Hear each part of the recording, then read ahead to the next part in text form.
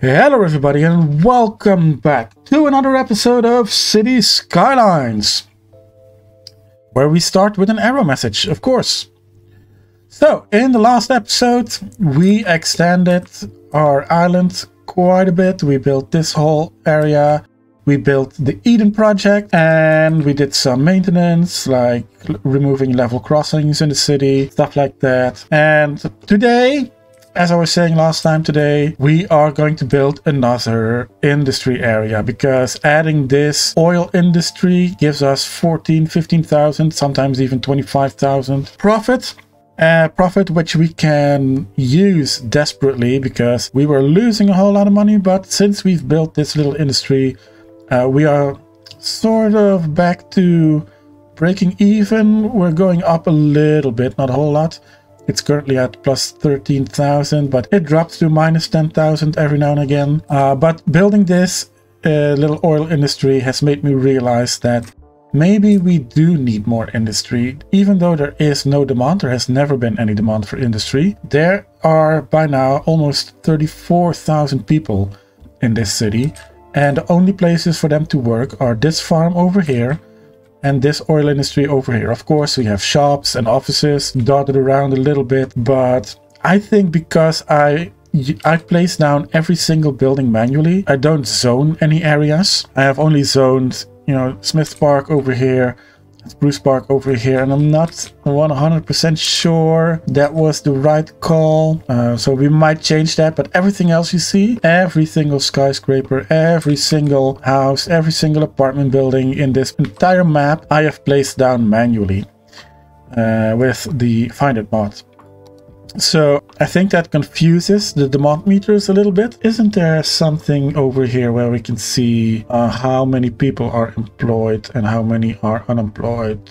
City statistics. All right. Um, let's see. Let's see. Employment percentage. Oh, oh no. Our employment percentage is pretty high, actually. It's at 98. All right. So maybe we don't need industry. We did add a lot of jobs. Okay. Okay. So maybe we need to do the same thing as we did the last couple of episodes. So we just need to add an industry and then start adding more citizens. So let's do that. So this is the area in which we are going to add our forestry industry. Forest industry. So we will add another highway exit over here today. Then create a road that goes along the river, I think, and then along that road will be most of the forest industry, and then in the middle, a couple of factories, a couple of processing plants. Uh, maybe we can finally, finally, maybe we can connect this road up as a bridge as well. So people that live here have the option to work in the university and work in the forest industry. Maybe we could even uh, expand the village to over here. Not sure about that. Maybe. We'll see how it goes. But for now, we are going to start with a highway exit and forestry industry. Forest industry, sorry. So let's get to it.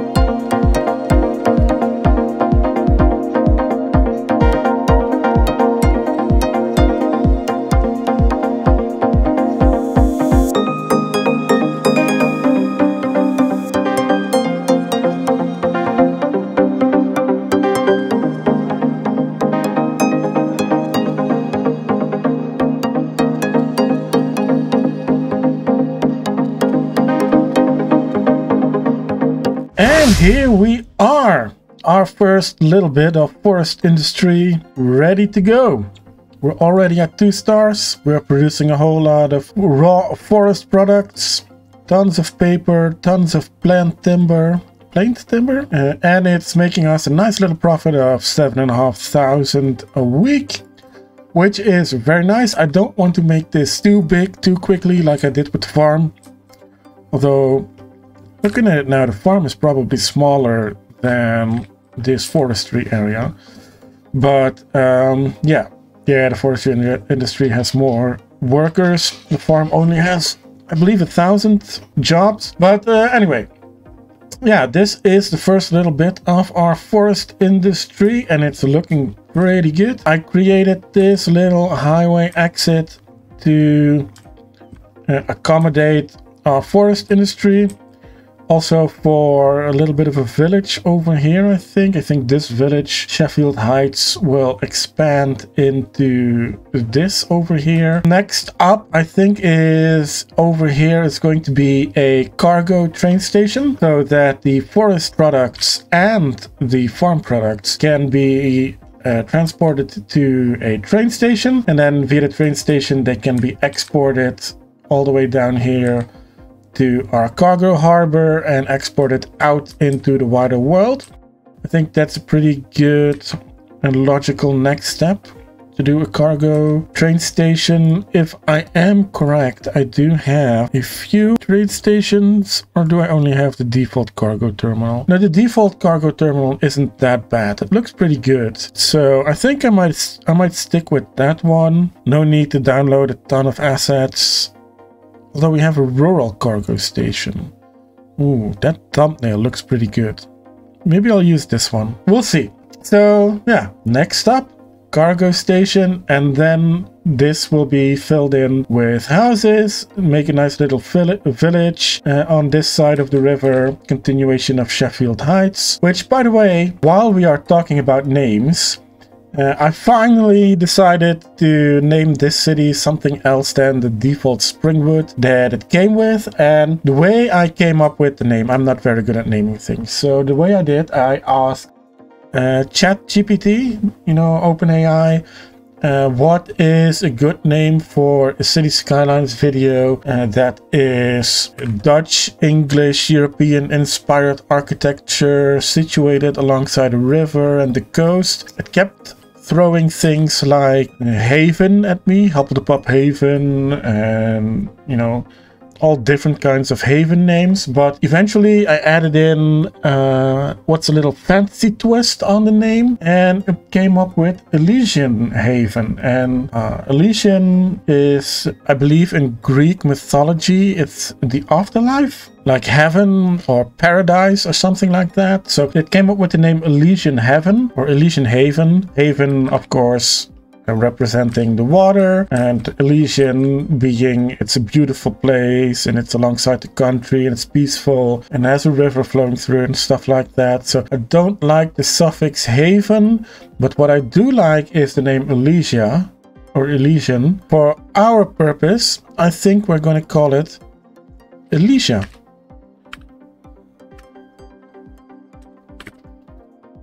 like so.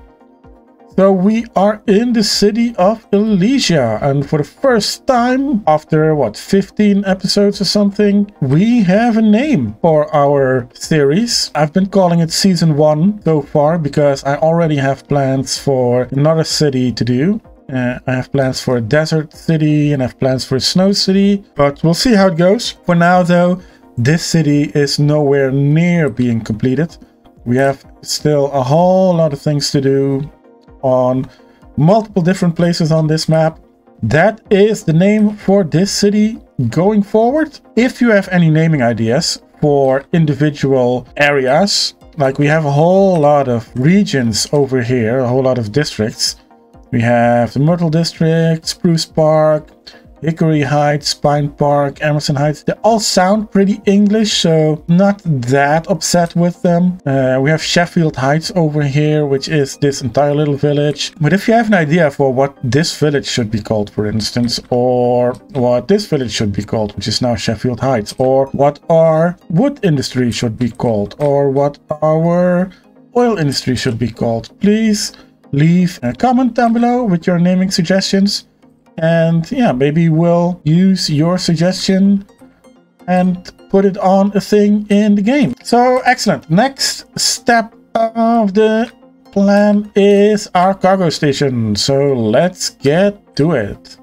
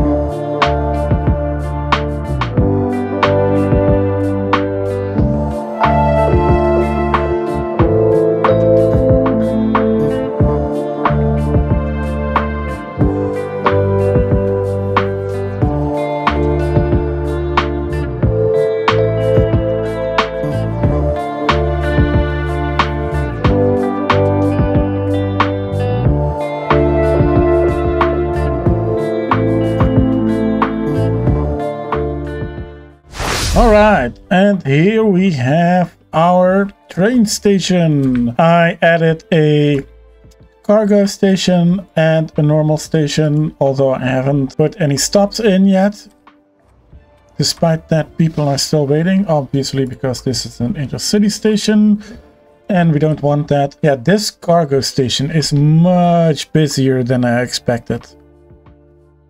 It's causing traffic in every direction around the station. I have made, I added a roundabout over here, so traffic from the farm can reach it easily via this road. Then traffic from obviously the uh, forest industry. Yeah, thank you. Forest industry reaches it from this way. And then stuff from the city also backs up. So I already added a one-way loop to it, so traffic can only flow in one direction. But still, even with that, it is exceptionally busy. Maybe it's because I don't have enough uh, cargo stations around the city. So it isn't it isn't awful at the moment. It's bad. I mean, look at this. Cars are queuing up for I don't know how far. Um, but it isn't backing up anything else. It isn't backing up into the city. It isn't backing up onto the highway. It isn't backing up onto this roundabout. So it's busy. There are some traffic jams, but I think for now it's good enough. Um, probably when I add more cargo stations to the train network, this will disappear. I'm thinking maybe a cargo station over here which is about same distance away as this one from the farm. Um, and then maybe another one over here uh, when we do the ore industry on this side. It'll probably resolve itself in a future episode, but for now, um, it brings our traffic down to 75% around that number. Um, but uh, yeah, that's still acceptable. I think everything above 70 is acceptable. I was a little bit worried about this road here because the road connects to the highway over here. And if we follow it along, then it is one big main road and then connects to the highway up here. So I was a little bit worried that people taking the highway who need to go from over here to over here would take this as a shortcut, but they don't seem to be doing that a whole lot. At least, you know, the intersections are busy. They will always be busy. Uh, I don't think we can do anything about that. But traffic in general on this road is pretty good. This one, I think, could use some timed traffic lights. So let's add those. Let's do a Traffic lights, control click. And let's wait a minute to see which phase is coming from the left. Straight on, phase 4. So stop. Edit number 4. Let's give you some more time. Save it and start again. Then I want to no lane switching, no lane switching, no lane switching, no lane switching. Excellent. Now all the cars that are going right right now probably wanted to go straight on. But now they have no choice. And let's see, do any of the other directions cause traffic issues? Uh, also, no lane switching over here, please. And no lane switching over here. So let's see. Do we need to extend any other times? I think number three could use some more time. Yeah, okay. Number three, let's give you five to 12. Number two probably could use a little bit more time as well. Looks like everybody gets out in a single phase. That is excellent. So, yeah. That helps a little bit with the traffic over there. Ah, traffic over here is getting a little bit less. There is nothing backing up here anymore. There's nothing backing up here. Just a few cars over here, nothing over here. Maybe it was just the initial surge of everybody wanting to get to the cargo station at once. And it's a beautiful cargo station, by the way. Uh, if we take a look at it, it's the Rural Cargo Station revised. I'm not sure who made it. Let's see. Um, yeah, this is the name. So if you want to use it for yourself, this is how you can find it. looks pretty good, I think, for a rural cargo station. It even has a transfer track. Uh, not a transfer track, an, an, an extra track over here, which you can connect to your rail network, but doesn't go anywhere, so no trains will ever go to it. And the only downside of it is you don't have to zoom out very far before the render distance becomes an issue. And if you zoom out a little bit more, then it disappears completely. But I think that's all right. I can live with that. I'd rather have an object that optimizes render distance than an object that uses a ton of uh, resources uh, for something like rendering it on this scale, even though it isn't strictly necessary. So next up, this whole area is going to be part of Sheffield Heights. At least what is now called Sheffield Heights for now. Maybe somebody puts in a name uh, for a different name in the future. Um, but yeah, everything from this railroad to this highway basically is going to be an extension of Sheffield Heights.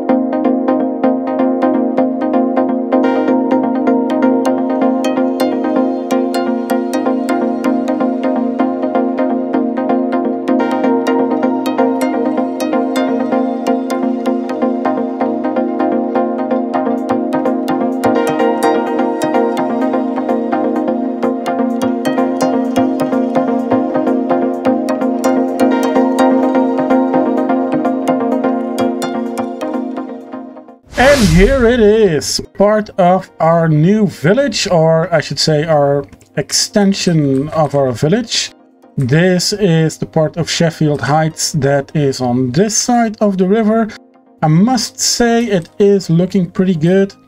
I'm pretty pleased with how it's turning out. I am trying to put in a lot of parking spaces because all the roads we've been using don't have any parking. Neither the small ones nor the big ones have any parking on the road. Added a little, added a little ferry stop over here to continue our ferry network uh, that we haven't created yet, but uh, we have a stop here, we have a stop here. Um, we have a stop over here, we have a stop over here. Maybe we can do uh, a loop around the island. That would be nice with stops on both sides. Yeah, I think that would be nice. We didn't put any ferry stops on this one. We could probably add a ferry stop over here on the main island. Then over here on this side, maybe we could use, you know, over here it's a ferry stop. It's pretty close to the shopping area and then all the way back around to here. Yeah, I think that would be a nice idea. Anyway, how's traffic in general? Traffic in general, 77%. Yeah, this road is going to be busy no matter what. And it will be busy until we add more cargo stations across the map. This is the first cargo station, so everybody wants to export something by train comes uh, to this cargo station. So yeah, it will be better once we add more cargo stations. So for now, we just have to deal with how this is going. Excellent. So anyway, um, for this area, yeah, I added uh, plenty of these uh, square buildings. I really like the look of those. Um, we added a high school, uh, a football club with two fields, obviously lots of parking. I've used these houses for the first time. They are very, very uh, thin. But I really like the way they look. They are Dutch uh, row houses. And the fact that they're on a slope uh, is even better.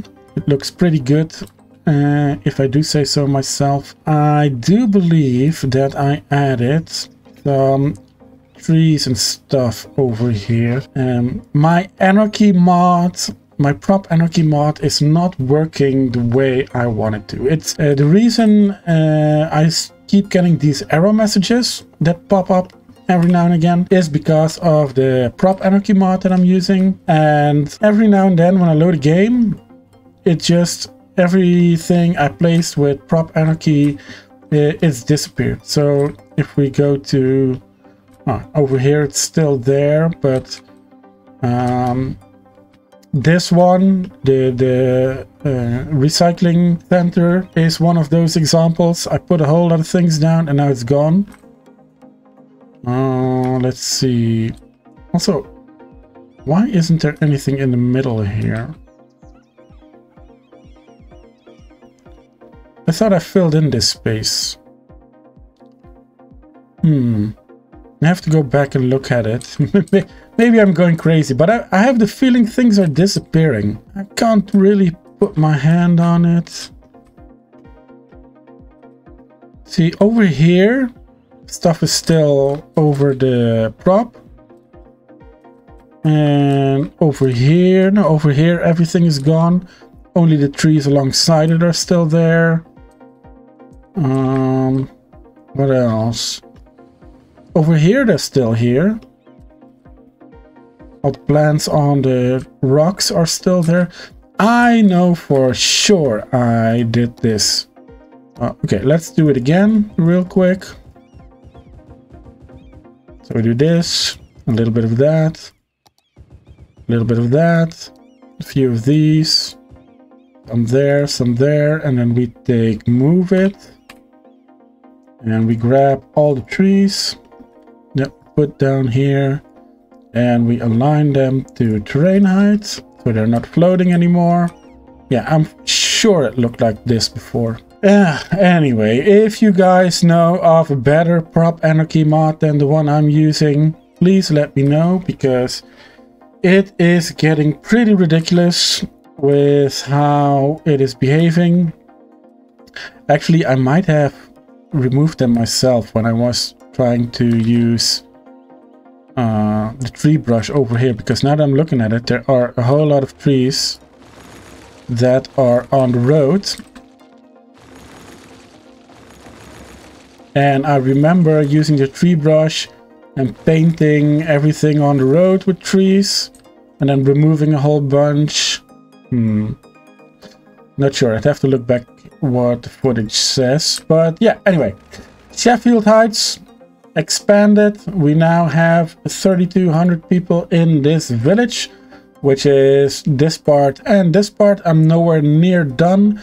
We need to at least uh, fill in everything up until this main road. Um, what I did do, don't know if it was shown on the time lapse, but I turned the football stadium back on, which is 4,000 a week, and I also turned uh, the aquatic center back on, which is 3,000 a week. Currently it says minus 11,000, but we are making money. When I turned them on, I was at 2.3 or 2.4 million, and we're now at 2.8. So even turning those massive buildings back on, we are still making money, which is a good thing. All right, that's going to be it for today. We made plenty of progress today. Um, extending our little village, creating a forest industry. I did create a little something over here, which I unfortunately don't have any time for uh, to put it in this video. So I'll make it an extra video uh, for my Patreon. If you want to check that out, check the link in the description and you can see it for yourself. Otherwise, it'll probably be on YouTube in a couple of weeks anyway as a bonus video. But yeah, this is our progress for today. I want to thank you all very much for watching and I will see you all in the next one. Bye bye.